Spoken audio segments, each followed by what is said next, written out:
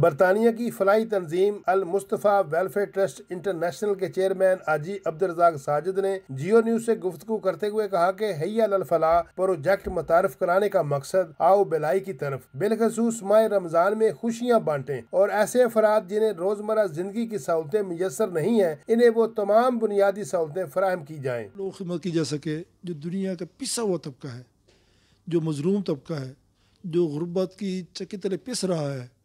اور ان کی خدمت کر کے میں سمجھتا ہوں ان کے زخموں پر پھا رکھ کے ہم ایک حقیقی خوشی حاصل کر سکتے ہیں۔ عبدالرزاق ساجد نے کہا کہ المصطفیٰ ویلفیئر ٹرسٹ نے دنیا بھر میں اپنی تمام ممکنہ توانائیوں کو بے سارا افراد کے لیے وقف کر رکھا ہے۔ ہر اس کام میں شامل ہو کر ایک نعرہ لگائیں حیا الفلاح۔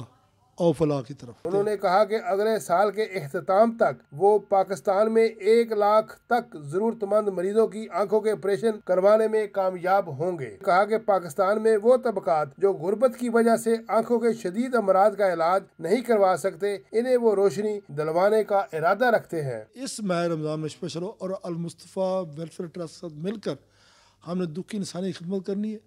وہ انسانی جو مجبور ہے بے بس ہے لاچار ہے جس کا کوئی سہارا نہیں ہے، ہم ان کا سہارا بننا ہے۔ انہوں نے کہا کہ ہزاروں مریضوں کی دستگیری کی ہے اور آنے والے وقت میں فلاحی کاموں میں مزید تیزی آئے گی۔ ساتھی رپورٹر علامہ عظیم جی کے ساتھ غلام مصطفیٰ مغل، جیو نیوز، مانچسٹر۔